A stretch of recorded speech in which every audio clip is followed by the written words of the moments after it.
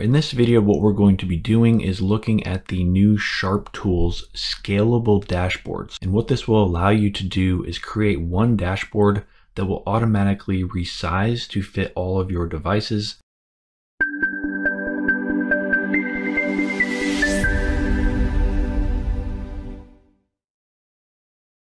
Hi, this is Justin from Simply Smart, where we make smart home technology as easy as one, two, three. So if you're interested in smart home technology, consider subscribing for more content like this. Also check out the video description for the three simple steps to building the ultimate smart home. Like I said, in this video, what we're going to be doing is looking at our SharpTools dashboards, and it's going to be a little bit different when you create a new dashboard. Now, when it pops up, um, you have a target device. So depending on which one you choose here, it's going to choose a tile size for you. You can also change it back to reflowing, but you would want to definitely stay on scalable dashboards. This is the much better um, way, and then this is the classic way. So we're gonna go ahead and create a dashboard that is for a landscape tablet and just click create. Now we're going to have to add some tiles here. So all you have to do is click add tile.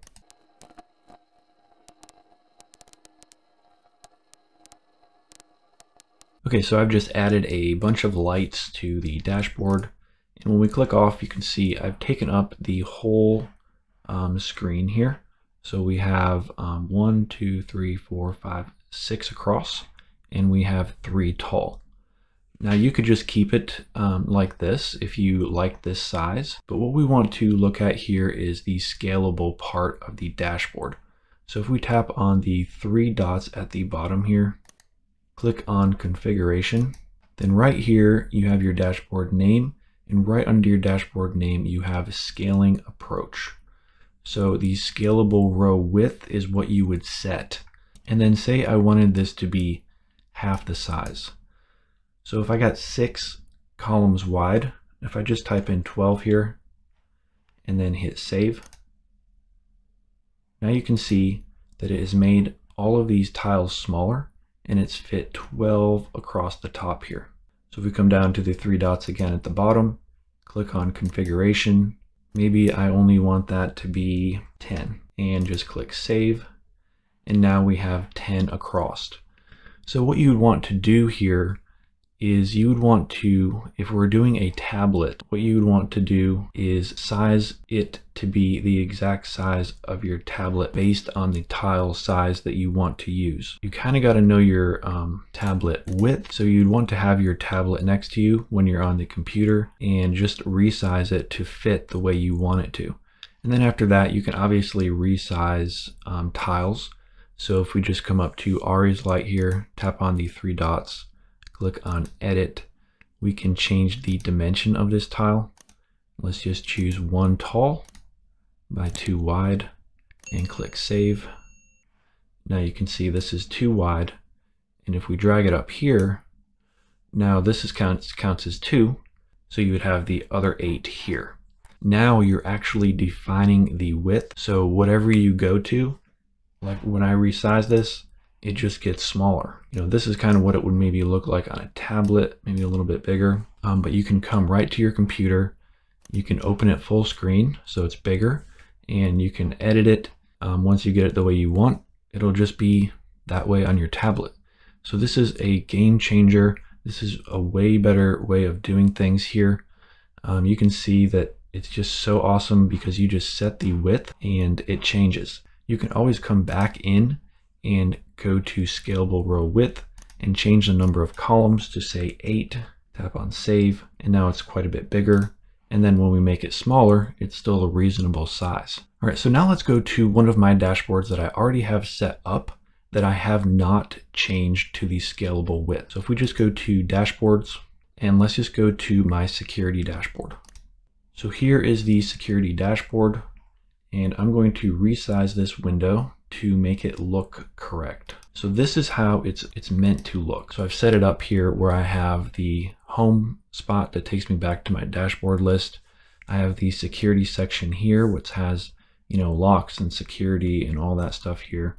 I have leaks and everything down in this section with our water valve. And over here we have locations so we can know where people are. And we also know if people are in their beds or not. Problem is, since it's not set up as a scalable dashboard, when I hit this, it reflows. It's just reflowing to fill up the width. So if we come back here, what we're gonna have to do is figure out the width of this. So I think each one of these is three tiles.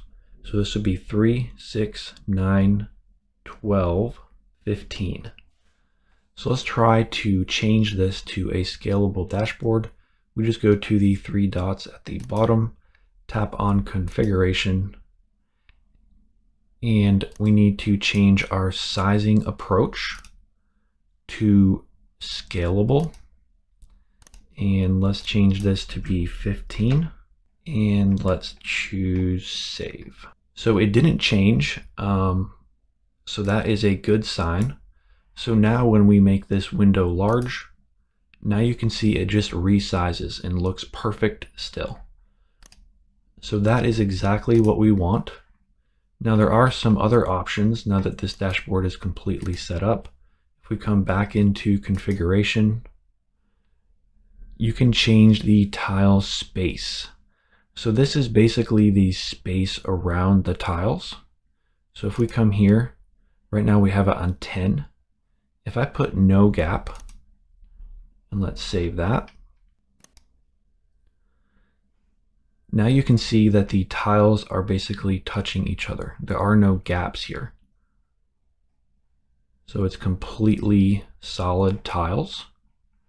Now another thing you can do, let's just change it to be a little bit of a gap. So we're going to come back into configuration and we're going to come in here and let's choose probably five. That would be half of what we had before. And just click save. And now you can see there is a little bit of space here, which I think is good enough. That's exactly what we want because we want our tiles to be as large as possible because we don't need a ton of gap. All right, so now if we make it smaller, you can see it all still looks good. And if I resize this to be even smaller, it's still good. You know, it's going to be fine. Whatever size it is, it's going to be perfect. And one other thing I do want to cover here is you can see that locations and security are not the same. Um, so what has happened here, now that we've um, made it a scalable dashboard, you may have to do, redo some of these labels to make them scalable as well. So what we want to do is we don't just want to delete the security here. And this is actually a link to one of my other dashboards. So if we just come down here, tap on edit, click here and click remove. Now we have deleted that. Now you don't want to save it because it will reflow. Um, but what you want to do is hit the plus sign and we're just going to add that dashboard back. So that was our camera dashboard and you can see it's added right here. We made to change it a little bit to make it the way it was. Right, so we change that to security, change it to one tall, eight wide, and let's choose this to be label and maybe four. Let's try that. And let's click on save. All right, so now our security is back and it looks like the location here and the security are the same size. So let's go ahead and resize this. And now you can see it does stay the same size. Um, so if you have any um, labels like that, you would just have to redo those labels. So that is basically all I wanted to show you in this video. This is an awesome feature of these scalable dashboards. If you have existing dashboards, you're definitely going to want to go back in and make them scalable. That way um, it's a lot easier to edit and they will look good on any device whenever you open them up. If you have any questions, just leave them in the comments section and I will see you in the next video.